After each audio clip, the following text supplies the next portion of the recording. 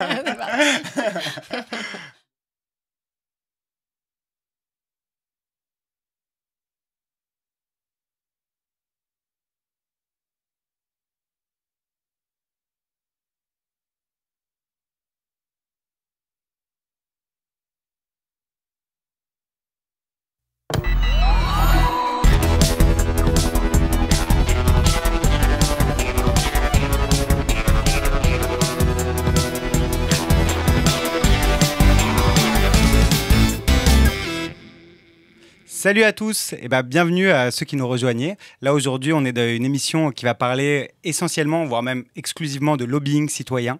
Et euh, j'ai la chance d'avoir euh, Elsa et Aurélien. Salut, John. Euh, alors avant de nous lancer pleinement dans la question du lobbying et du lobbying citoyen, on va d'abord vous dire brièvement quels vont être les sujets qu'on va évoquer aujourd'hui. Donc, euh, on va évidemment présenter le concept parce que c'est vrai que lobbying, c'est un peu un gros mot. Et euh, surtout, lobbying citoyen, j'ai l'impression que c'est pas une expression qui est dans le langage commun encore euh, pour le moment, mais ça va le devenir très vite.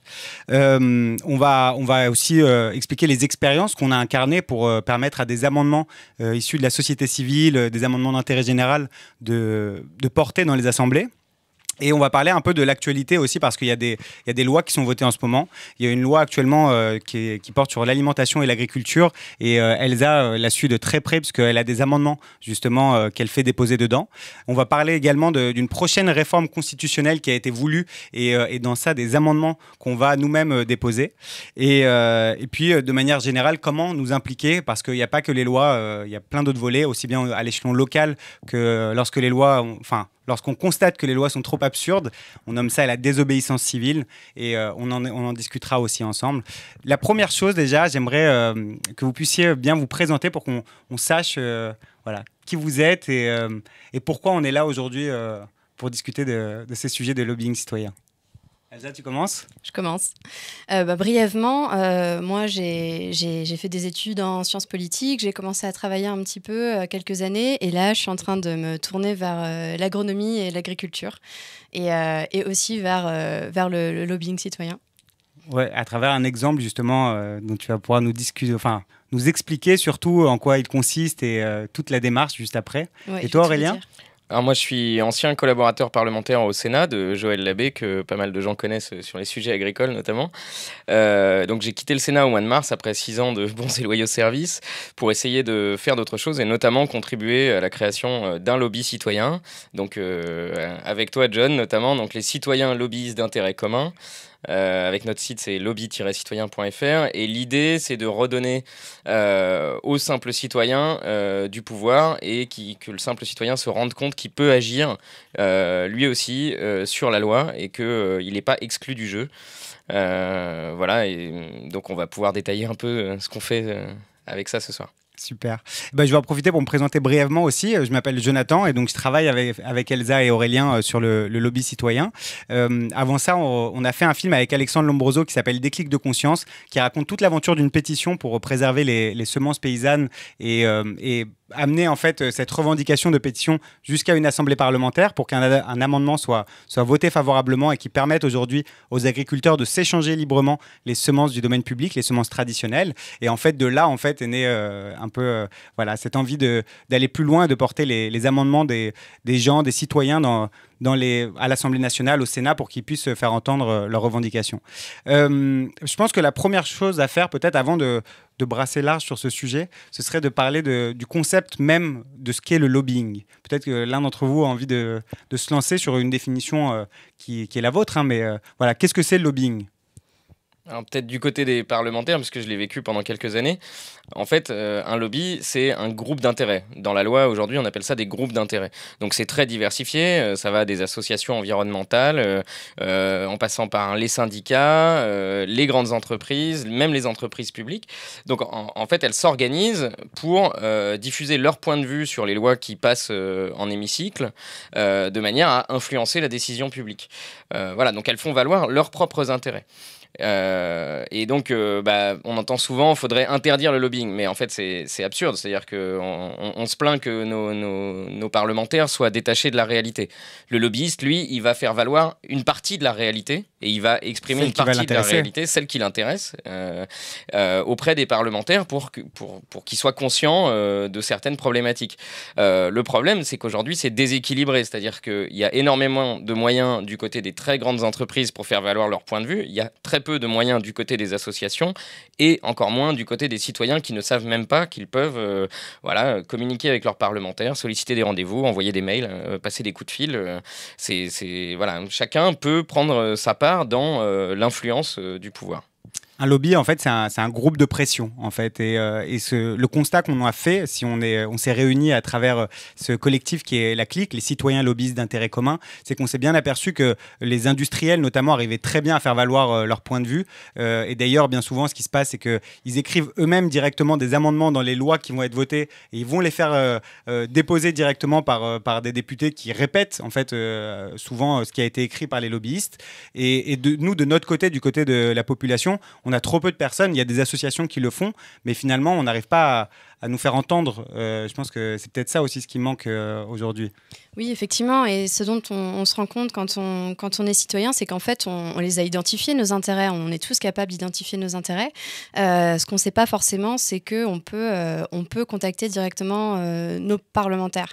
Et je me suis rendu compte d'une chose à travers une démarche de, de lobbying citoyen dont je parlerai un peu plus tard, c'est que, en fait, euh, effectivement, euh, quand on fait du lobbying citoyen, on n'a pas avec nous les, on n'a pas avec nous la puissance de frappe financière, euh, mais on a des intérêts, il y a des choses qui nous tiennent à cœur, et en fait, le fait de on peut non seulement, non seulement on peut aller les porter, euh, mais en plus on est écouté. C'est-à-dire que, euh, à la différence peut-être d'organisations, euh, de grosses organisations qui ont des moyens financiers ou qui font du plaidoyer environnemental, du lobbying environnemental, en tant que citoyen, on n'a pas forcément cette reconnaissance.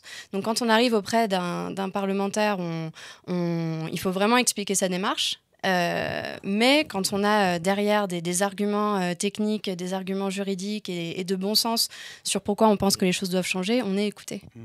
Justement, c'est très intéressant parce que bon, là, on est dans des concepts un peu abstraits. voilà, je pense que nous, on, baigne vraiment dedans, donc ça nous paraît évident, mais ça l'est pas nécessairement pour tout le monde. Ce serait cool que tu puisses nous expliquer justement l'expérience que tu es en train de vivre. J'allais dire que tu as vécu, mais en fait, tu es en plein dedans pour faire cette démarche de, de lobbying citoyen, voilà, de lobbying d'intérêt général. Et oui, il est probable d'ailleurs que les amendements que j'ai réussi à faire déposer soient votés pendant cette émission ou un peu après. Donc, euh, explique-nous on en saura plus euh, plus tard.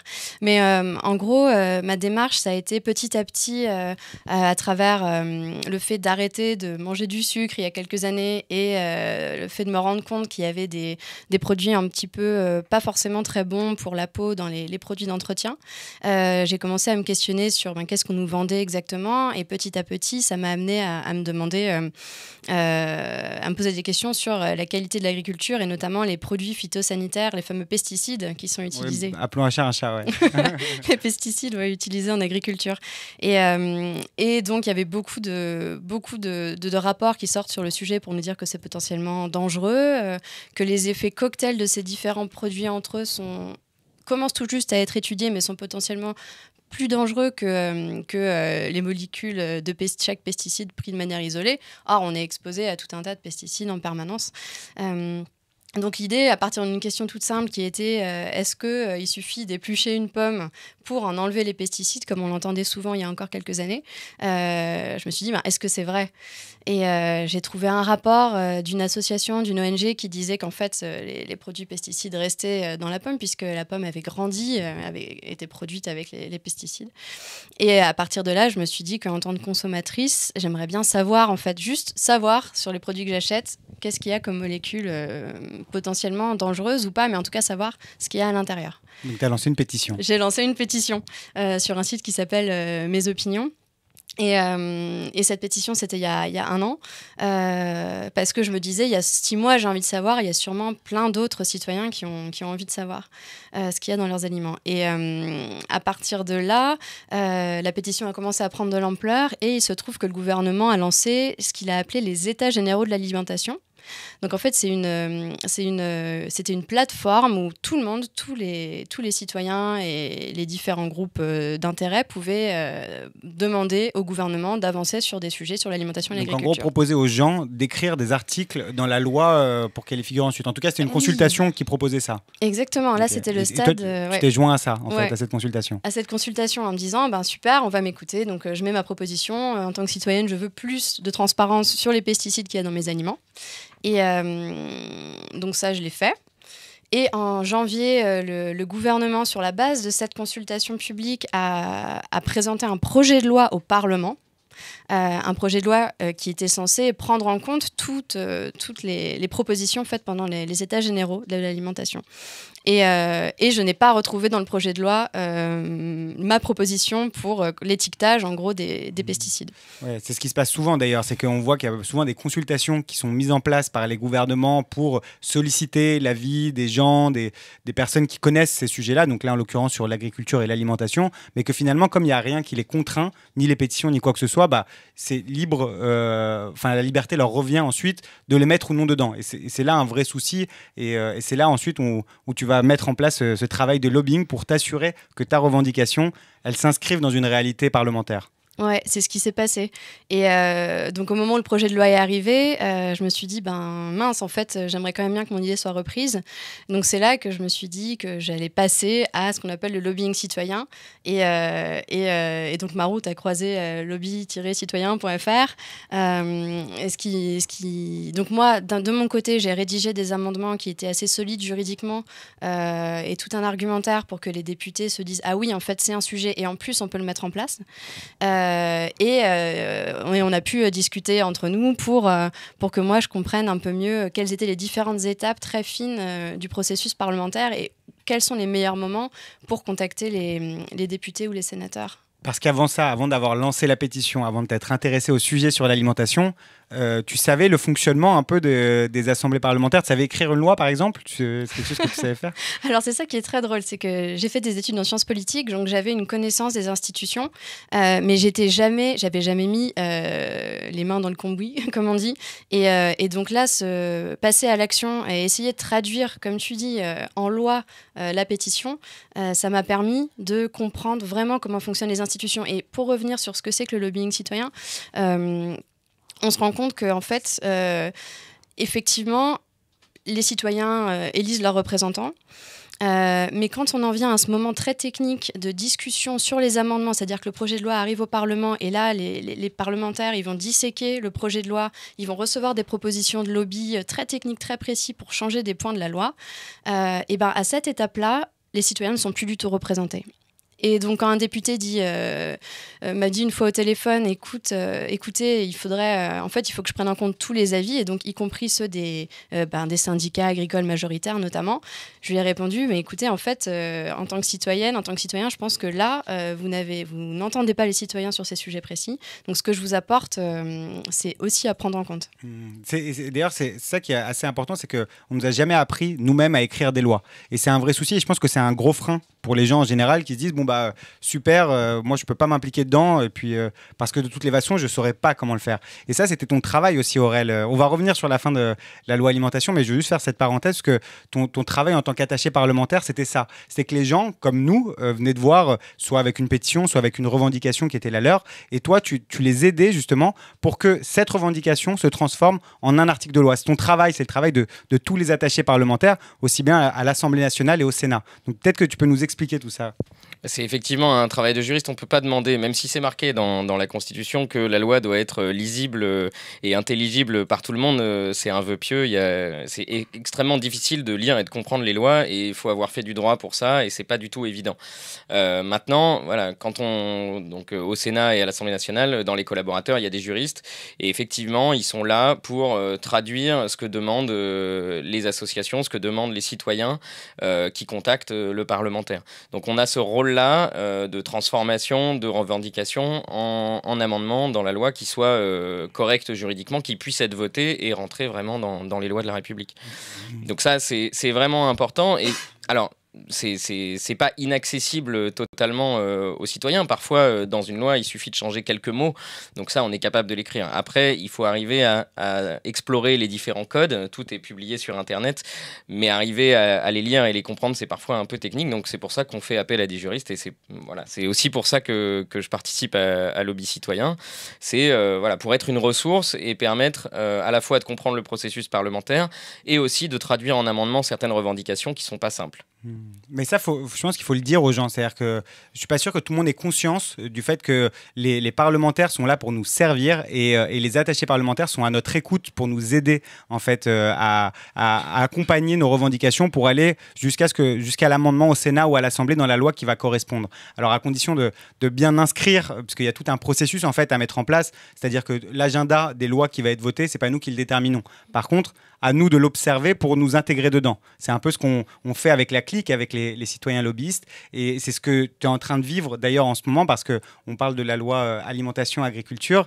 Et, là, on est, on est en plein dedans. C'est-à-dire que là, il y a le vote au Sénat sur des amendements que tu as fait déposer parce que tu as réussi, à force d'abnégation, donc d'appeler euh, les députés puis les sénateurs, euh, de leur envoyer des mails, d'échanger avec eux, de faire déposer tes amendements, de faire déposer la revendication de ta pétition. Alors, on voit plein de pétitions qui partent dans tous les sens et qui aboutissent pas et du coup ça décourage aussi souvent les gens. Mais il y a aussi plein de pétitions quand elles sont mises au bon moment, c'est des super outils d'interpellation. C'est-à-dire que là, tu as 30 000 personnes qui potentiellement envoient des mails massivement euh, aux parlementaires et du coup qui, les qui leur demandent de bouger. quoi. Donc euh, voilà, peut-être que tu peux nous expliquer là aujourd'hui euh, où ça en est. Oui, et bah, tu l'as bien résumé, ce, fameux projet de loi qui avait été déposé en janvier, il a été déposé à l'Assemblée, à l'Assemblée nationale, pour une première lecture. À ce moment-là, j'ai commencé un travail de, de, contact j'ai contacté les collaborateurs parlementaires par mail puis par téléphone. certains d'entre eux ont déposé les amendements qui n'ont pas qui n'ont pas été votés à l'Assemblée nationale. C'est pourquoi? Euh, Les lobbies, mais là, du coup, pas citoyens qui sont intervenus euh, Je n'irai pas jusqu'à interpréter, euh, enfin, à me prononcer sur le, poids des lobbies contre mes amendements. En tout cas, euh, les arguments qui étaient avancés à, ces amendements pour un étiquetage des pesticides sur les produits alimentaires étaient souvent des arguments. L'argument le, plus important était que l'Union européenne ne permettait pas à la France d'aller d'aller aussi loin parce que l'étiquetage alimentaire est déjà, euh, est déjà comment dire, mis en règle, réglementé euh, au niveau de l'Union européenne. Et en fait, c'est faux. les États nationaux, les États membres, dont la France, peuvent aller plus loin. Hmm. Donc c'est un argument que j'ai bien mis en avant quand ce texte, euh, pour toujours en première lecture, est arrivé au Sénat. Alors on peut expliquer voilà comment ça fonctionne, c'est-à-dire que là en l'occurrence donc c'est l'Assemblée nationale qui a, qui a donc euh, mis en place le texte du projet de loi avec tous les amendements, qui les a fait voter une première fois et ensuite en fonction de ces votes-là, ça passe au Sénat qui doit valider à son tour euh, les amendements. Peut-être que je simplifie trop. C'est pas une validation, non non, la loi est examinée deux fois, une première fois à l'Assemblée nationale et une deuxième fois au Sénat et le Sénat d'ailleurs a supprimé beaucoup de choses que l'Assemblée nationale avait voté. Euh, et puis là, on va voir, ça se discute en ce moment. Le Sénat vote lui-même euh, ses propres modifications du texte euh, pour, pour établir son propre texte. Donc pour qu'une loi soit, soit adoptée, qu'elle entre dans la loi, il faut qu'elle soit votée favorablement en termes identiques par l'Assemblée nationale et par le Sénat. Voilà, il faut que les deux chambres votent favorablement pour Au départ, voilà. Ensuite, euh, il y, a, donc c'est ce qu'on appelle la navette. Euh, le, cas, le cas général, c'est normalement deux lectures dans chaque chambre. Donc là, on est encore en première lecture. Euh, et puis ensuite, il y a ce qu'on appelle une commission mixte, commission mixte paritaire. Donc sept députés, sept sénateurs qui sont censés se mettre d'accord sur un texte commun et arriver à le faire voter à l'identique dans les deux chambres. Et si ça, ça échoue, il y a encore une lecture qu'on appelle la nouvelle lecture, et à la fin, l'Assemblée nationale a le dernier mot. Donc autant de place pour les lobbies à chaque fois pour, euh, pour rentrer dans la partie, mais tous les lobbies, c'est-à-dire le nôtre aussi. Les citoyens aussi, euh, les associations aussi, euh, mais aussi toute l'industrie, évidemment. Ok. Alors, pardon, du coup, là, là ton amendement, il a été rejeté à l'Assemblée nationale donc, pour demander l'étiquetage des pesticides obligatoires, enfin des, pas, des produits de traitement, quoi, plus largement. Et là, le vote est en cours au Sénat. Donc, euh, je ne sais pas euh, d'ailleurs dans combien de temps il va être voté, mais, mais je pense que dès ce soir, on va avoir la réponse sur ton amendement pour savoir si le Sénat adopte euh, cet amendement ou pas. Oui, c'est ça. En fait, au Sénat, il y, a deux étapes, comme il y en a souvent. C'est-à-dire que d'abord, le texte a été étudié dans une commission la commission des affaires économiques en l'occurrence, qui elle a, supprimé des amendements qui allaient dans le sens de l'étiquetage. Et donc tout mon travail de lobbying après cette commission, ça a été de contacter les sénateurs pour leur dire, bah, écoutez, il faut rétablir cet, amendement qui allait dans le sens de, de, plus de clarté sur les pesticides et aller plus loin, aller encore plus loin. Donc j'ai une trentaine, une cinquantaine de sénateurs qui ont déposé cet amendement. Euh, on va savoir normalement ce soir si euh, le Sénat, qui est maintenant, on va dire, en réunion plénière, en ce moment en train de discuter du texte, adopte, euh, adopte ces amendements.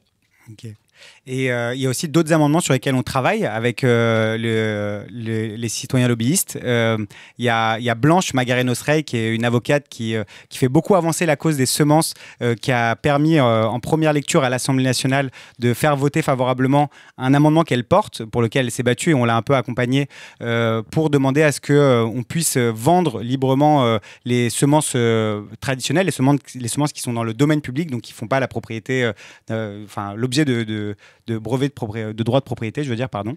Euh, il y a aussi un autre amendement euh, qu'on est en train de, qu'on a, on a accompagné sur les les, les PNPP, les, préparations naturelles peu préoccupantes, euh, le plus célèbre étant le purin d'ortie. Voilà, tous les purins, qui était une absurdité en fait à la base. Voilà, il y, a, y, a plusieurs choses comme ça. Alors sur les semences, l'amendement de Blanche qu'elle a porté, donc elle, elle est avocate, elle a travaillé au niveau européen et au niveau français depuis plusieurs années pour reconnaître la liberté de semer. Hein.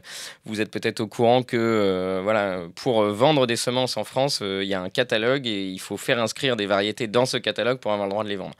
Alors, euh, on avait fait évoluer cette règle-là, et c'est ce qui est dans le film Des clics de conscience que vous avez réalisé avec Alexandre, où on voit qu'on a réussi à écorner un peu ce, monopole absurde hein, qui nuit à la biodiversité cultivée, en permettant aux agriculteurs d'échanger déjà des semences paysannes, des semences non inscrites au catalogue, et puis ensuite aux associations comme Cocopelli euh, qui font euh, qui, cultivent des variétés anciennes et qui retrouvent des variétés anciennes et qui les diffusent, euh, de les vendre pour qu'elles se diffusent. et donc ça, c'était interdit jusqu'en jusqu'en 2016.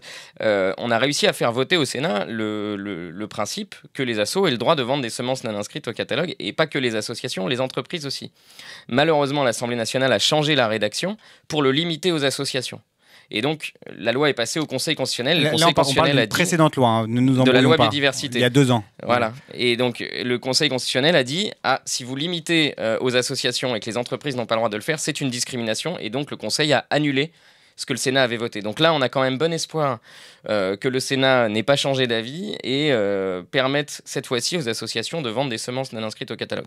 En parallèle, ça a évolué au niveau européen depuis, puisqu'il y a le nouveau règlement de l'agriculture bio, euh, qui était censé harmoniser l'agriculture bio au niveau européen, qui a permis à tous les agriculteurs bio d'Europe, à partir de la prochaine saison, de pouvoir cultiver les semences qu'ils souhaitent, euh, non inscrites au catalogue.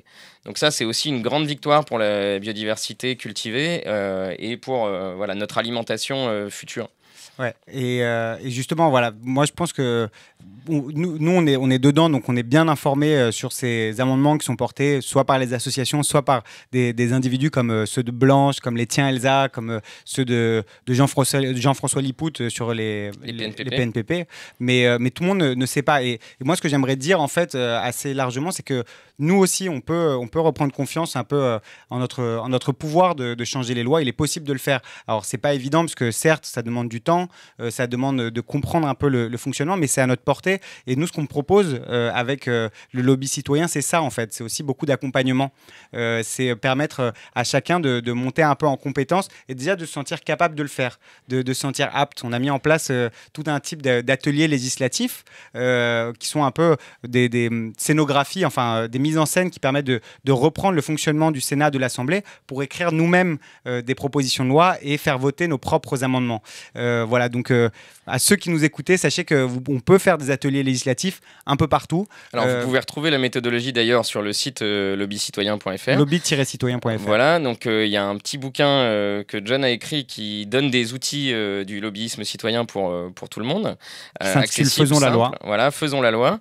et puis de, de cet atelier qu'on avait testé ensemble autour du film des clics de conscience, j'en ai, ai fait une version 2 que j'ai testé dans un lycée cette année où pendant trois fois deux heures, des élèves de première ont écrit une proposition de loi assez détaillée et assez intéressante sur les violences policières. C'est eux qui avaient choisi le thème. voilà, et donc, cet atelier, voilà, on va pouvoir le reproduire dans d'autres lycées. Et puis ça marche aussi très bien dans les associations et avec des adultes. Donc voilà, n'hésitez pas. La méthodologie est en ligne. Si ça vous intéresse, vous pouvez vous l'approprier et puis dites-nous euh, les retours que vous avez si vous le testez. Exactement. Alors avant peut-être d'aller plus loin euh, sur la, réforme constitutionnelle qui va avoir lieu, moi j'aimerais bien qu'on donne un peu euh, notre ressenti sur, voilà, sur ces expériences que tu vis actuellement, qu'on est en train de vivre, parce que certes, on, permet d'inscrire en fait des amendements dans les assemblées, donc de créer du débat, et, et ça je pense que c'est la promesse qu'on peut faire à chaque personne qui va venir nous contacter, c'est dire on va tout faire pour que ce soit déposé. Néanmoins, on n'a pas la main mise sur le vote final. Euh, et, ça peut susciter aussi des frustrations. Donc j'aimerais bien qu'on puisse un peu clarifier euh, tout ça. Oui, c'est très juste. Euh, mon expérience personnelle, c'est que je consacre énormément de temps encore maintenant à, la pétition puis aux amendements. du temps, ça veut dire des heures passées au téléphone pour expliquer pourquoi c'est important qu'il y ait de la transparence sur les pesticides et pourquoi c'est faisable. Et, et je sais que même si ces amendements ne sont pas votés ce soir ou dans les, dans les semaines qui viennent, je me rends bien compte qu'en ayant soulevé le sujet auprès de d'autant de personnes, en étant rentré en contact aussi avec des, des ONG qui travaillent euh, sur ce, sur ce sujet en particulier, mais le sujet est en train de monter en fait. Et euh, j'ai un, collaborateur parlementaire d'un député qui m'a dit, bah, par exemple, on pourrait poser une question écrite au gouvernement. Donc ça montre bien que même les, même les députés, même les parlementaires ont envie d'en savoir plus et ont envie d'interpeller le gouvernement sur ce sujet. Ce qui est intéressant, c'est que c'est pas une fin en soi. C'est-à-dire que certes, si c'est adopté, bah, c'est une victoire. Si euh, ça l'est pas, bah, on, est, on est très déçu par rapport à tout l'investissement qui aurait été mis en place. Et, euh, et c'est sûr, voilà, ce sera un petit échec. quoi. Mais néanmoins, ce qui restera, et euh, c'est qu'il y aura toujours ces débats euh, et, ces débats vont faire avancer le sujet, vont, vont voilà, commencer à, ancrer cette idée-là, notamment là sur l'étiquetage euh, des, obligatoire euh, des, pesticides. Et bah, même si ça passe pas cette fois-ci, on va pas lâcher l'affaire, on va le redéposer. Et puis si ça passe pas la prochaine fois, on le redéposera de nouveau. Et a un moment où il y aura une bascule qui va se faire parce qu'ils vont plus avoir le choix parce que ces personnes-là, après tout, on les élit et donc on a le droit de demander des comptes dessus. Donc j'aimerais bien peut-être. C'est énormément de travail en fait quand on est pour avoir vécu les deux côtés, quand on est dedans. Nous, on s'est battu avec Joël Labbé, mon ancien patron, pour interdire les pesticides néonicotinoïdes, les fameux pesticides tueurs d'abeilles. Euh, ça, a été deux ans de, lutte acharnée pour que ça passe enfin dans la loi biodiversité. Ça a été extrêmement difficile. Euh, et c'est oui, c'est des centaines d'heures de travail pour faire passer quelques mots dans la loi qui vont interdire à partir du 1er septembre 2018 euh, ces pesticides-là. donc on peut y arriver. et puis il y a des parlementaires sur lesquels on peut s'appuyer et, qui, voilà, qui, nous aident ou qui sont des alliés. Ensuite, bah, ça n'empêche pas que c'est beaucoup de boulot. Quoi. Et, euh, et parfois, euh, parfois c'est un échec et, euh, il faut rebondir. Il ne faut pas se laisser démonter, il ne faut pas se décourager, il faut continuer, faut continuer à se battre. Et, ce dont on peut être sûr, pardon, c'est qu'on a, on a des alliés en fait aussi dans les assemblées. là, Joël Labbé, le, sénateur avec lequel tu collaborais, qui nous a beaucoup aidé justement dans la loi biodiversité sur notre amendement sur les semences. Ça a été un, magnifique allié parce que grâce à lui, on a pu faire déposer nos amendements et il a fait tout ce travail en fait de ensuite dans l'Assemblée en reprenant notre, nos arguments euh, pour le faire connaître aux autres euh, sénateurs à ce moment-là. Donc on, a, on dispose aussi d'alliés quand même euh, au Sénat et à l'Assemblée, même s'il n'y en a pas énormément, il y en a quelques-uns peut-être que tu as, pu... en faire l'expérience Effectivement, on voit, on voit assez rapidement, donc quand on passe des coups de téléphone aux collaborateurs parlementaires, aux, députés, aux sénateurs, qui est vraiment intéressé par le projet. Mais c'est aussi intéressant, et c'est là pour moi que le travail de lobbying est, très très passionnant, euh, c'est qu'on va aussi essayer d'aller convaincre des, gens qui a priori n'étaient pas complètement acquis à la cause ou euh, en tout cas n'y pensaient pas forcément. Et, et tout ce travail-là, je pense qu'il n'y a vraiment pas d'échec, jamais, parce que euh, déjà, soit on apprend à connaître les institutions, donc en tant que citoyen, on se réapproprie tout le, tout le déroulement institutionnel. Mais en plus, on devient vraiment très très solide euh, juridiquement et en termes d'argumentation politique aussi sur le sujet qu'on veut défendre. On, est capable de donner des clés pour que d'autres ensuite portent, euh, le comprennent, se l'approprient et le portent de manière juste. Ouais, pour qu'une prochaine fois, ce qu'on disait tout à l'heure, qu'il soit finalement euh, adopté, mais peut-être dans un second dépôt, enfin dans un second temps, dans une prochaine loi. C'est qu'on laisse euh, l'idée euh, maturer pour que ça fonctionne. Et ça me fait penser un peu à un autre sujet, parce que là, il va y avoir une prochaine loi qui va être votée, qui va être très importante, puisqu'il va s'agir de changer la constitution française. Rien que ça. et, euh, puis bon, euh, c'est vrai qu'avec le gouvernement qu'on a actuellement, euh, il y a des raisons d'être pessimiste. Hein. Moi, je donnais mon opinion. Mais il n'empêche qu'on va profiter de, cette opportunité-là en termes de, changement constitutionnel, donc de, des règles de loi, pour nous-mêmes proposer des, voilà, des réformes à l'intérieur, des amendements. Peut-être qu'on peut en parler. Il y en a un en particulier qu'on défend depuis longtemps. On a d'ailleurs lancé une pétition qui a 46 000 signataires sur la plateforme mesopinions.com qui euh, demande à ce qu'il puisse exister un droit d'amendement citoyen. C'est que nous autres citoyens, on puisse disposer aussi d'un droit pour faire déposer des amendements, donc des articles de loi, dans les assemblées parlementaires directement pour qu'ensuite ils soient votés. Parce qu'aujourd'hui, il n'y a que les députés ou les sénateurs qui peuvent le faire, euh, ce droit d'amendement, qui, en disposent. Nous, on n'a pas le droit aujourd'hui de pouvoir déposer euh, nos propres articles de loi. Donc on va militer pour qu'il existe un droit d'amendement citoyen, donc avec un certain nombre de de garde-fous aussi pour être sûr que voilà, les, propositions faites s'intègrent bien euh, dans les lois existantes, qu'elles ne soient pas trop farfelues. Donc euh, peut-être que toi, Aurélien, tu pourrais nous expliquer euh, justement. Euh, C'est un système qu'on a imaginé, on a réfléchi à un certain temps quand vous êtes hmm. arrivé avec Alexandre avec cette idée de droit d'amendement citoyen qui était, enfin qui nous a tout de suite parlé. C'était comment on l'applique concrètement au, Parlement, au Sénat notamment. C'est bah, pour rassurer un peu le législateur parce que quelque part il a peur d'être dépossédé de son pouvoir, il a peur des dérives éventuelles, etc. Bon, déjà, ce qu'il faut dire, c'est que c'est le droit de déposer un amendement donc euh, pas de le faire adopter. Après, c'est quand même euh, les députés et les sénateurs qui adoptent ou non euh, les amendements. dans l'idée, ce serait quoi? Une plateforme de concertation, il y en a déjà qui existe, sur lequel on dépose le projet de loi ou la proposition de loi, et là, les citoyens peuvent venir faire des propositions de modification, donc des propositions d'amendement. ensuite, les citoyens peuvent voter pour les propositions qui leur plaisent le plus. Euh, et donc, euh, on peut avoir euh, quelques centaines de votes favorables sur tel ou tel amendement. Et on s'est dit, oui, mais c'est pas toujours les propositions qui ont le plus de, qui ont le plus mobilisé qui sont toujours les plus intéressantes. Alors évidemment, il faudrait les reprendre pour les traiter si elles ont mobilisé. Et on s'est dit, comment on fait ça? Bah, ce serait bien d'avoir un deuxième rapporteur. En fait, sur chaque texte de loi, il y a un rapporteur, donc c'est un membre, un sénateur ou un député membre d'une des commissions thématiques, qui est en charge d'examiner le texte, de le suivre tout au long son parcours législatif. Et donc lui, il a un rôle euh, prépondérant vis-à-vis de ses collègues, puisqu'il connaît le texte sur le bout des doigts. Euh, et donc, euh, on ne peut pas lui demander, en plus de prendre en compte l'avis des citoyens, donc on se disait, on va nommer un deuxième rapporteur sur chacun des textes, qui lui sera chargé exclusivement de recueillir l'avis des citoyens. Et donc, il y a la plateforme de consultation en ligne, mais on peut tout à fait imaginer qu'il aille aussi sur le terrain dans différentes villes pour mener des ateliers législatifs, par exemple, autour du projet de loi ou de la proposition de loi. Et puis, lui, donc, il va évidemment retenir peut-être les trois premières les dix premières propositions euh, qui ont recueilli le plus euh, d'avis favorables, mais il va peut-être aussi pouvoir aller explorer dans des propositions qui sont peut-être plus techniques ou qui, ont, qui sont peut-être plus obscures, euh, pour aller chercher des propositions qui lui lui semblent intéressantes sur le texte et qui ont été proposées par les citoyens et auxquelles d'autres n'avaient pas pensé. Et ensuite, elle serait soumise au vote des députés et des sénateurs dans l'hémicycle, comme un amendement classique. Ça veut dire plusieurs choses. Ça veut dire déjà qu'il y aurait encore ce principe de consultation comme il y a eu euh, effectivement sur euh, la loi EGA, euh, agriculture et alimentation.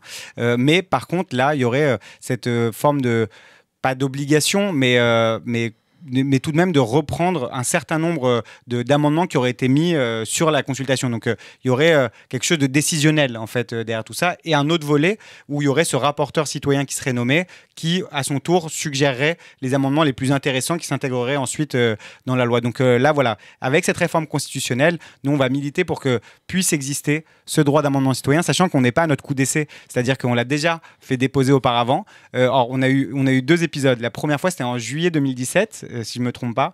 Euh, là, cette fois-ci, c'était la première fois qu'on voulait le faire déposer. Il a été carrément balayé. Il a été rejeté au motif qu'il ne s'intégrerait pas dans la loi. Enfin, ils ont invoqué un prétexte euh, voilà, de parlementaire, hein, un truc juridique pour que ça passe pas. Et en décembre dernier, on l'a refait déposer en le modifiant un peu. Et là, il y a eu des débats dessus. Et puis, on s'est bien aperçu d'ailleurs à ce moment-là qu'il y avait quand même dans les débats de la part du rapporteur, c'était la commission des lois, c'est Philippe Bas au, Sénat, qui disait que très concrètement, puisque c'est de sa bouche, on n'allait tout de même pas permettre aux citoyens de proposer des lois. Donc on voit tout le chemin qu'il y a à faire quand même euh, du côté des élus, des, des, vieux briscards euh, un peu euh, qui sont là de, depuis des années et qui bougent pas de leur siège de, de députés ou de sénateurs, pour comprendre qu'aujourd'hui il y a cette nécessité en fait de co-construire et d'écrire entre, enfin ensemble en bonne intelligence des amendements, parce qu'il y a d'un côté les législateurs, mais il y a aussi tous ceux qui sont sur le terrain et qui à chaque fois constatent en fait les évolutions nécessaires pour, euh, faire On n'est pas tout seul euh, dans, dans, voilà, à, porter des propositions sur la réforme constitutionnelle. Euh, on a signé une tribune et on a fait une pétition avec d'autres associations. Donc il y a À nous la démocratie, Sénat citoyen, Jury citoyen et plein d'autres. Il y a aussi des personnalités et des parlementaires qui ont signé cet appel pour des états généraux de la démocratie. C'est-à-dire qu'aujourd'hui, on nous impose une réforme constitutionnelle qui n'a pas été discutée, on Peut, dire, on peut dire quelques mots euh, sur ce qui est proposé actuellement, de ce qu'on comprend de cette réforme bah, le, principe phare, c'est ce qu'avait promis Macron euh, dans son élection, hein, euh, c'était de réduire d'un tiers le nombre de parlementaires. Alors c'est un peu paradoxal, c'est assez démagogique comme proposition, puisque on se plaint que les parlementaires sont trop éloignés du terrain, et là on va réduire leur nombre, donc ils vont être encore plus éloignés du terrain. Bon, après, il y a une dose de proportionnel, 15% de proportionnel. Donc ça, ça permettrait à des plus petits partis d'exister au Parlement. Euh, mais euh, l'inconvénient, c'est que ça va être sur des listes nationales. Donc on aura surtout les apparatchiks des partis qui vont être élus sur ces listes proportionnelles. Donc, Tout ça est très euh, technique, hein, mais... Oui, après, évidemment, si vous êtes curieux, vous venez nous poser des questions, on répondra très gentiment par mail, il n'y a pas de souci, ou sur les réseaux sociaux, n'hésitez pas.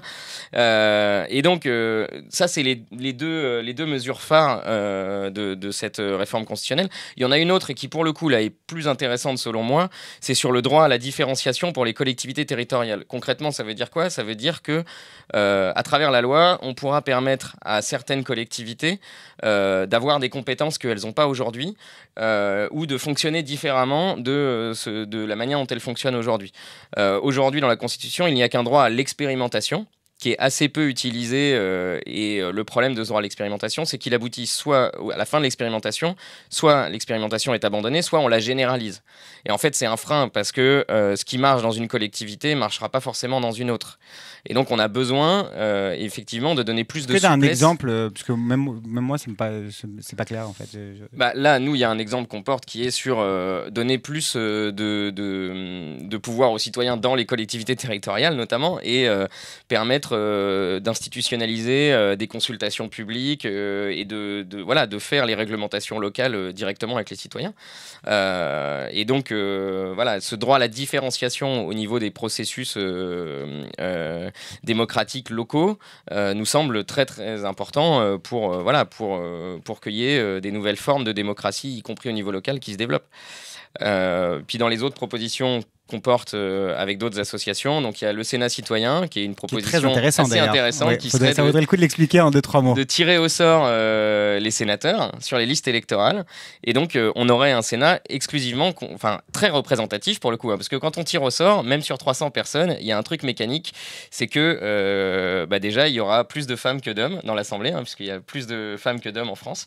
donc on aura un Sénat hyper paritaire. Et puis on aura une représentation de toutes les catégories sociales. Aujourd'hui, on a une surreprésentation des fonctionnaires, des chefs d'entreprise, euh, des avocats, etc. Euh, et on a euh, très peu d'agriculteurs, très peu d'ouvriers, très peu d'employés. et donc là, mécaniquement, on aurait une meilleure représentation des catégories sociales françaises. Et puis surtout, on aurait des gens qui viennent pas des partis et qui sont pas affiliés à des partis. Et donc, ils vont devoir s'organiser autrement. Sur chaque loi, bah, ils vont devoir voilà, voir quels sont les équilibres démocratiques. Et ça serait un tout autre fonctionnement euh, euh, pour le Sénat. Donc ça, ce serait très intéressant. Ce serait l'idéal. Franchement, je pense que tous les trois, on est d'accord pour dire que s'il y a un Sénat citoyen qui existe, euh, enfin, on aimerait énormément pousser pour que ce Sénat citoyen existe. Et puis, si on pense que le Sénat sert à rien, on peut toujours faire un Sénat citoyen.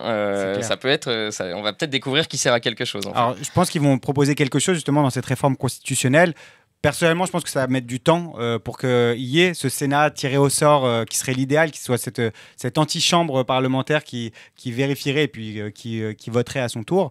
Mais nous, on décide de se concentrer surtout sur ce droit d'amendement citoyen et ce droit d'interpellation, enfin, de créer même des, référendums décisionnels locaux, comme ce qui, ce qui s'est passé à Grenoble. C'est qu'il y a eu un maire à un moment donné qui a, qui a voulu mettre en place ce système-là, permettre de solliciter la population à travers des référendums et qui a été un peu euh, critiqué, enfin même pas critiqué. Il non, le tribunal administratif a annulé sa décision. Tout à fait. Il y a le préfet euh, qui, a, qui, a, mis euh, le grappin dessus et qui a dit non, non, non. Vous n'avez pas le droit de, de donner la, la vie, de permettre à la population de, de décider. C'est pas écrit dans la loi, c'est contraire euh, à la Constitution. Après, c'est technique, mais ils ont un peu euh, joué avec le feu. Donc ils ont peut-être euh, fait exprès de, de, de l'écrire de cette manière-là pour se le faire interdire et pour qu'on en discute vraiment à quel point on peut redonner du pouvoir localement aux, aux, simples citoyens.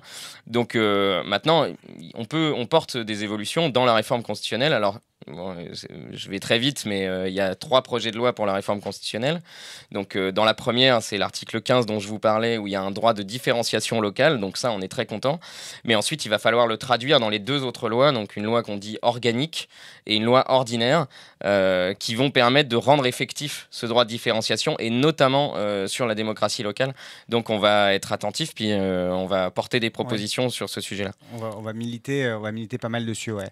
Est-ce qu'il y a, y a des, hum, comment dire, il y a des revendications. si on reste un peu sur euh, cette réforme constitutionnelle, admettons qu'aujourd'hui on puisse, euh, voilà, euh, vivre dans une cité idéale au niveau national pour, pour changer les lois. Qu'est-ce qu'est-ce qu'on pourrait mettre directement en place c'est un piège. Hein. ou c'est la continuation de tout ce qu'on dit, euh, de ce qu'on a pu discuter là euh, pendant, pendant un petit temps. Euh, une société idéale, c'est difficile à, dessiner comme ça rapidement, mais en tout cas, se dire que effectivement, de plus en plus de, personnes ont envie de comprendre comment fonctionnent leurs institutions, de se les réapproprier. donc ça, c'est tout le côté. D'un côté, on a, on a une citoyenneté qui a envie de s'exprimer pleinement, c'est-à-dire pas juste au moment du vote, euh, mais à plein d'autres moments des, temps démocratiques. Et même, euh, voilà, être citoyen, c'est être dans une association, c'est euh, essayer de faire passer des amendements, c'est c'est énormément de choses en fait. Donc d'un côté, cette envie générale de, de porter des sujets, et où là, vraiment, une fois qu'on est passé à travers le processus de, de lobbying citoyen, on peut aider les gens il y a quelques jours, quelqu'un m'a, en, voyant mon action, m'a contacté pour, euh, pour avoir des conseils sur comment porter une action de lobbying et j'ai pu lui expliquer parce qu'en fait, une fois qu'on l'a fait, on a compris et on, est capable de transmettre.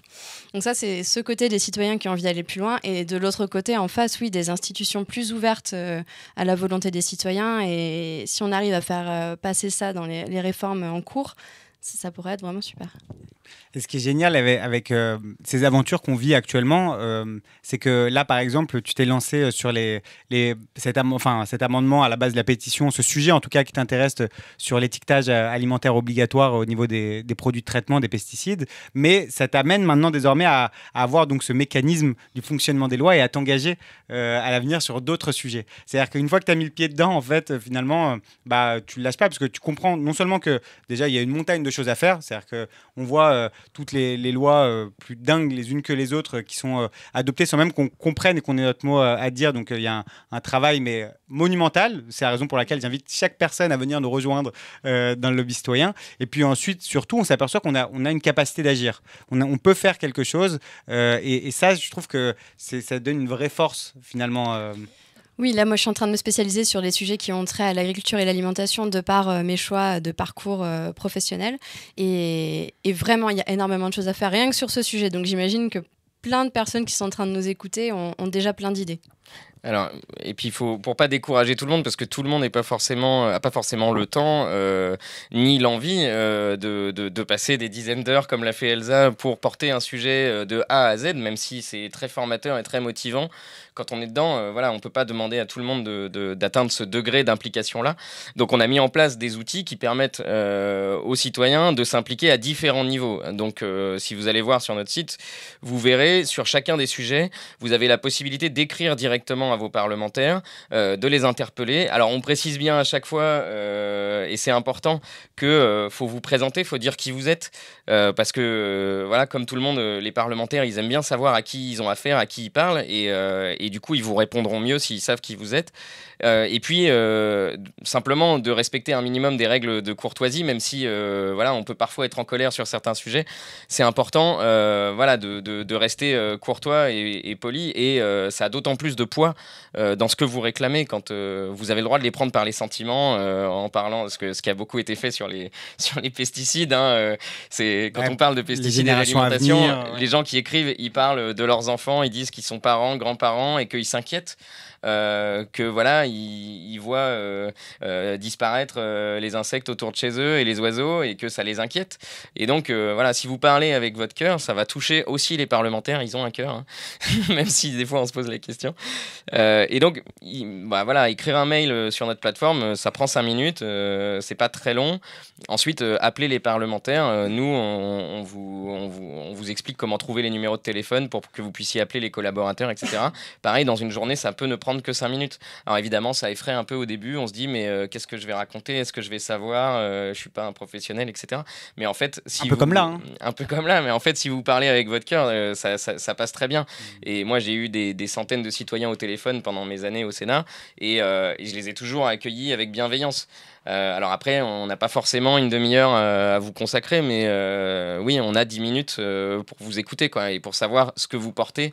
Et simplement, souvent, c'est de vous dire oui, on a reçu votre mail, oui, on l'a lu, et oui, le parlementaire va se, pencher sur la question et on vous enverra une réponse une fois que ça sera passé dans l'hémicycle. Donc voilà, c'est aussi le travail des collaborateurs de répondre aux simples citoyens. Ouais, et euh, moi, il y a un truc, euh, ça me fait penser à, quelque chose que tu dis, c'est que là, on voit qu'on s'intéresse beaucoup à des sujets environnementaux ou des sujets relatifs euh, à la citoyenneté. Et c'est vrai que je pense que c'est une place qu'on peut bien occuper, légitimement occuper, parce qu'il concerne le bien commun. Il concerne l'intérêt général et, finalement, si on se positionne dessus, c'est que on, fait partie de ce bien commun et on a l'impression que bah, les autres formes de groupes de pression ne les représentent pas. Donc voilà, je veux juste dire qu'on on est, tout à fait légitime, en fait, finalement, euh, par, de par le nombre euh, qu'on représente derrière chacune des revendications, quand il s'agit de, sujets qui touchent à notre santé, euh, des sujets qui touchent à, notre environnement, et puis, et puis tout, le reste, en fait, tout ce qui va nous toucher un peu intimement et qui va appartenir à tout le monde, eh ben, on a notre place, on a notre rôle, et, et ce qu'il faut, c'est que de plus en plus, en fait, on soit de plus en plus nombreux à se sentir responsable par rapport à ça. certes, ça nécessite un engagement au niveau du temps, et on n'est pas toujours sûr du résultat. Mais par contre, euh, je pense qu'on peut témoigner que déjà l'aventure est belle et surtout, euh, on a quand même euh, bah, une certaine responsabilité, peut-être pas pour parler directement de, nos enfants ou de nos petits-enfants, mais ne serait-ce que pour nous, le monde dans lequel on veut évoluer. Et, et il y a une très très jolie phrase euh, qui, est, qui, est, celle euh, de, de, Krishnamurti qui dit chaque génération est un nouvel espoir et à nous de le porter justement euh, ce, ce, nouvel espoir là. voilà, c'était une petite pause poésie du, du, moment. J'aimerais parler peut-être un peu des, des, des, actions à venir parce qu'on va travailler donc sur la réforme constitutionnelle à travers le droit d'amendement citoyen, mais il y a un autre gros sujet qui va qui va arriver sur la table aussi qui concerne l'herboristerie. C'est un, vous connaissez euh, tous les deux, mais je vais expliquer euh, brièvement. C'est euh, c'est le plus vieux métier du monde en fait. C'est celui qui consiste à se soigner par les plantes, avec les plantes. Et, et il y a eu un diplôme donc qui permettait d'exercer et d'utiliser un, grand nombre de plantes. Et ce diplôme-là a été supprimé en 1941. Donc, si on se remémore en tête, on est en pleine Seconde Guerre mondiale. C'est le régime de Vichy, c'est le maréchal Pétain qui supprime ça, et ça n'a jamais été rétabli. Il faut savoir que là-dessus, puisqu'on parle beaucoup de loi européenne, loi française, c'est vrai qu'on s'embrouille un peu les pinceaux, et ça vaudrait peut-être le coup d'expliquer un peu justement la différence entre euh, les lois européennes et les lois françaises juste après. Mais, euh, mais là, en l'occurrence, l'Europe dit laisse le soin à chaque pays de faire ce qu'il veut. Ce qui fait qu'en France, on est le seul pays d'Europe à interdire purement et simplement ce diplôme d'herboriste et ce métier parce qu'aujourd'hui, euh, il, est, il est très flou, il y a les compléments alimentaires qui rentrent dedans tout ça pour dire quoi? C'est qu'actuellement, il y a ce sénateur, Joël Labbé, avec lequel euh, tu as collaboré euh, étroitement et avec lequel on, travaille, on continue à travailler, qui va proposer une loi pour rétablir le diplôme d'herboriste. Voilà. On va se mettre dessus à partir de, septembre prochain. On va, on va probablement lancer une pétition euh, et, un grand nombre d'actions, d'ailleurs, qui vont bien au-delà de la pétition, pour que les sénateurs puis les députés votent favorablement et rétablissent cette anomalie pour qu'on puisse se soigner. On ait cette alternative pour nous soigner au travers des plantes. Voilà. C'est pour donner un peu aussi euh, l'actu de, la clique du lobby citoyen. Euh, donc euh, venez, rejoignez-nous et, je, pense qu'on peut inviter le plus grand nombre parce qu'on a besoin d'être nombreux. Il y a une phrase que tu aimes bien dire, toi, Aurel. on n'a pas de pognon, mais on est des millions. Voilà. et il y en a une un, peu plus, un peu plus jolie, c'est on n'a pas d'argent, mais on a des gens. Exactement. Et, euh, et, donc, euh, voilà, moi, je vous invite à, nous rejoindre. Alors, peut-être qu'on peut expliquer aussi, parce qu'on n'a pas trop expliqué comment euh, les gens pouvaient nous rejoindre sur les actions. Alors, sur l'amendement, sur l'étiquetage alimentaire, Bon, bah, sur celui-ci, je pense que c'est un peu tard parce qu'il est en cours de, de, vote. Mais voilà, quels sont les moyens pour permettre de faire du bruit collectivement? Mais soyons créatifs, hein, n'ayons pas peur de, tous les sortir. Même ceux qui sont hors la loi d'ailleurs, hein, parce que la loi, elle évolue. Hein, on l'a fait finalement, la loi. Alors, si je parle, si je parle concrètement là, de, cette bataille pour, euh, euh, faire euh, étiqueter les pesticides sur les produits alimentaires, vous pouvez encore, vous qui, qui, regardez cette vidéo, signer la pétition pour la transparence sur les pesticides dans les aliments, qui est sur la plateforme mesopinions.com. elle a déjà plus de 30 000 signataires, mais vraiment, plus on est nombreux, plus on est écouté. Euh, et alors ça, donc, euh, et, c'est valable de le faire maintenant parce qu'en fait, le processus parlementaire va continuer encore quelques semaines, voire quelques mois. Donc, euh, c'est vraiment utile. Et, une fois que vous aurez signé, vous, aurez accès à des outils pour contacter vos parlementaires. et après, pour aller plus loin, ce que une option, ça pourrait être, si jamais les amendements ne sont pas adoptés, peut-être euh, d'essayer d'organiser l'année prochaine une, euh, une campagne de, de, boycott de produits dont on estime qu'ils sont peut-être un peu dangereux pour, euh, pour l'environnement ou notre santé, à quelque chose à, dessiner, mais ça peut faire partie des actions qui ont du poids. Ouais, c'est très intéressant justement ce que tu dis parce que là on se concentre beaucoup sur l'aspect législatif, faire la loi, les changer, mais en fait des actions il y en a plein qu'on peut faire et, en permanence je pense directement à une association qui s'appelle i-boycott.org euh, qui euh, met en place des campagnes de, boycott. C'est-à-dire qu'ils euh, estiment, à juste titre, parce que c'est vrai, c'est que chaque achat qu'on va faire, si on décide d'acheter par exemple en supermarché ou si on décide d'acheter dans une AMAP ou dans un marché, vont être un bulletin de vote. C'est-à-dire qu'à chaque fois qu'on va acheter de quoi manger ou de quoi nous, vêtir, quoi, on va choisir le monde qu'on veut voir demain. Et ça, faut jamais l'oublier, puisque ça, c'est une action qui est très forte. Et si on le fait collectivement, c'est ce qu'ils mettent en place à travers leur plateforme, eh ben, on peut faire fléchir des grosses marques qui auraient des, pratiques euh, malveillantes pour, leur pour les obliger en fait à écouter nos choix. Donc euh, voilà, je vous invite à aller sur euh, la plateforme i-boycott.org qui, est très intéressante. Et puis il y a aussi le volet municipal, j'ai même envie de dire municipaliste, parce que c'est un concept. Alors c'est qui, est, né d'Espagne, en fait, du mouvement des places, et qui est l'idée principale, est de dire on va se réapproprier notre espace de vie. Euh, nos, villes. Et donc, euh, et si les lois euh, où l'État est absurde, enfin veut expulser des, habitants injustement, et eh ben nous on va s'opposer à ça, par exemple. Et c'est ainsi, en fait, à travers des actions très concrètes, très précises, qu'on va reprendre le pouvoir localement avant de, faire évoluer la loi, parce qu'à terme l'idée c'est quand même de le faire, mais, mais en tout cas de, de, se responsabiliser, de devenir assez indépendant, autonome à l'échelle locale, voilà, de reprendre le pouvoir dessus. Et d'ailleurs, on a une, élection qui va avoir lieu nous en France en 2020, en mars 2020, si je ne me trompe pas, euh, qui est l'élection municipale. Alors nous, on a, on a nos, petits exemples. Je pense à, à Saillant, peut-être qu'il y en a qui peuvent expliquer. Euh, vous connaissez l'exemple de Saillant d'ailleurs? Vaguement, oui. Euh, on peut peut-être expliquer euh, ce, qui s'est passé là-bas. C'est que c'est une petite ville dans la Drôme où, euh, en fait, il y a un groupe d'habitants qui, s'opposait sans cesse aux volontés du maire en place. En l'occurrence, c'était un projet de supermarché qu'ils voulaient créer et qui allait faire, fermer tous les commerces locaux. Et donc, ils ont manifesté, ils ont lancé des pétitions, tous les recours juridiques, ils sont essoufflés, ils ont obtenu gain de cause. Et au final, à force de s'opposer à leur projet, ils se sont dit, mais au lieu de nous battre éternellement contre, on va essayer de prendre la place du maire. Mais on va pas le faire tout seul, on va le faire en groupe, on va le faire collectivement. Donc ils ont mené campagne, c'était en 2014, et ils ont, ils ont remporté la mairie et ils gèrent aujourd'hui collectivement euh, la, ville de Saillant. Donc c'est une première étape. Aujourd'hui, l'idée c'est qu'il puisse y avoir des milliers de communes en France qui fassent non seulement ce chemin de reprendre collectivement une mairie, mais qui aussi euh, euh, se réapproprient du pouvoir, parce qu'on a vu que dans les dernières réformes territoriales, il y avait un grand nombre de pouvoirs dont disposaient autrefois les maires qui sont déplacés aux mains des technocrates parisiens. Donc c'est surtout les, les, intercommunalités, mais donc le pouvoir est plus détenu par le maire. Il y a énormément de compétences qui sont partagées avec 10, 15, 20 mairies. Euh, ce, qui est, ce, qui est, assez logique euh, quand on est dans un village de 300 ou 400 habitants, on n'a pas forcément les moyens ni le budget tout seul de euh, gérer les déchets, les transports, les eaux, enfin tout ce qu'on veut. Et donc, bah, c'est assez logique d'avoir regroupé ces compétences-là au niveau des intercommunalités. Le problème, c'est qu'on n'élit pas les personnes qui siègent à l'intercommunalité. En fait, c'est un fléchage depuis les listes électorales des communes vers l'intercommunalité. Alors que plusieurs fois, euh, en six ans, notamment au moment de la grande réforme territoriale, on a demandé à ce qu'il y ait une élection directe euh, des membres des intercommunalités pour qu'il y ait des projets à l'échelle des intercommunalités et pas simplement euh, chaque commune qui a ses petits projets euh, et que finalement elle ne pourra pas réaliser puisqu'elle n'aura pas la majorité à l'intercommunalité.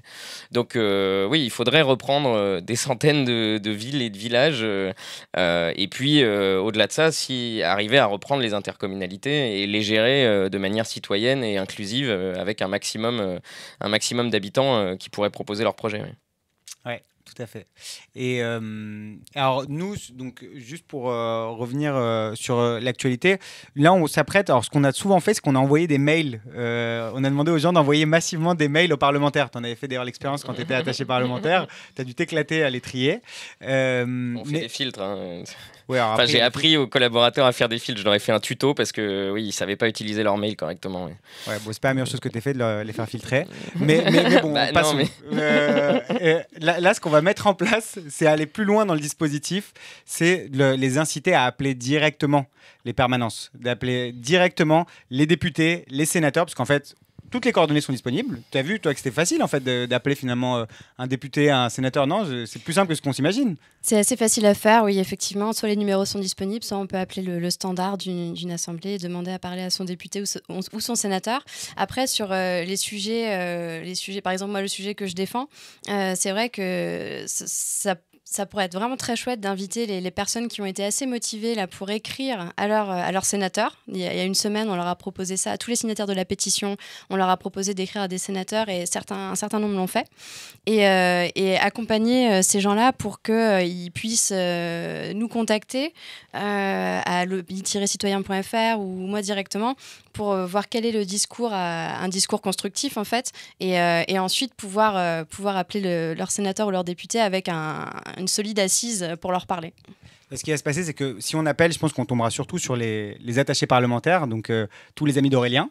Euh, mais il n'empêche que ce sont eux qui s'occupent de tout le cadre juridique et, qui connaissent à chaque fois le, la, moelle en fait de, des textes. Donc euh, ils nous recevront, ils nous écouteront. C'est vrai que ça a été assez simple finalement d'aller au Sénat, de, suggérer des rendez-vous. Alors certes, on est mieux reçu quand il y a des milliers de personnes derrière nous, derrière une revendication d'une pétition, que si on y va tout seul. Donc il vaut mieux se mettre en groupe euh, et aller avec une même revendication. Mais il n'empêche que même si on est seul, on peut le faire. Et donc, ce qu'on va mettre en place sur le droit d'amendement citoyen, notamment, c'est qu'on va demander d'harceler les permanences, je dis bien harceler, pour que tous les parlementaires soient au courant que ce droit va être déposé et qui se positionnent dessus, puisqu'on a le droit de demander des comptes. Non? Tout à fait. vous? tout à fait. Vous êtes d'accord sur cette stratégie? Oui, après, j'aime pas le mot harcèlement, mais euh, non, simplement, il s'est sollicité effectivement chaque euh, parlementaire pour qu'il entende la revendication. Et, euh, et voilà, si quelqu'un se sent pas capable avec les arguments qu'il y a sur le site, il peut tout à fait nous appeler avant pour que on lui explique tous les détails et qu'il se sente capable d'appeler. voilà, on est là pour, pour accompagner les démarches à ce niveau-là. Donc on espère que vous serez nombreux à, nous suivre et à faire la promotion du droit d'amendement citoyen.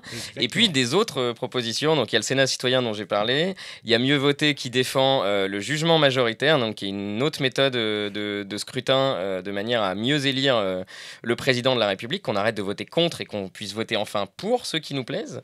voilà. Et puis il y en a d'autres qui arrivent au fur et à mesure. la démocratie. voilà. Donc on rajoute au fur et à mesure. Là, ça arrive à l'Assemblée nationale en séance publique le 10 juillet. Donc ça ça va être très rapide pour l'Assemblée nationale. Et ce sera à l'automne au Sénat. Donc euh, il y aura un deuxième volet. Euh, si vous n'avez pas le temps d'ici le 10 juillet et que vous êtes en vacances. Si, si tout le monde a le temps. Euh, mais à la rentrée, on vous attend tous très motivés pour défendre le droit d'amendement citoyen au Sénat. Et d'ailleurs, si vous, vous aussi, vous avez des propositions d'amendements qui s'intégreraient dans des lois, n'hésitez pas à nous les envoyer directement, à nous contacter. Alors, la première chose que je vous conseille de faire, c'est d'aller observer déjà l'agenda parlementaire. Il est accessible hein, facilement. Peut-être que vous pouvez nous expliquer comment on fait pour, pour le voir. Euh, et en fait, c'est là où va y avoir l'ordre du jour. C'est sur la page d'accueil de l'Assemblée nationale et du Sénat. Donc euh, eh ben sénat.fr et euh, assemblée-nationale.fr. Et sur la page d'accueil, vous avez les agendas. Donc voilà, observez l'agenda parlementaire, regardez. À partir du moment où vous avez vu les lois qui vont être votées, essayez de mobiliser déjà autour de vous et contactez-nous pour qu'on puisse vous aider à écrire non seulement votre amendement, mais ensuite aussi à faire en sorte qu'il puisse être déposé dans les assemblées parlementaires et qu'il soit voté favorablement, évidemment. Donc euh, voilà, n'hésitez pas à nous contacter, parce que c'est un peu notre vocation avec la clique finalement, c'est d'accompagner les revendications des autres.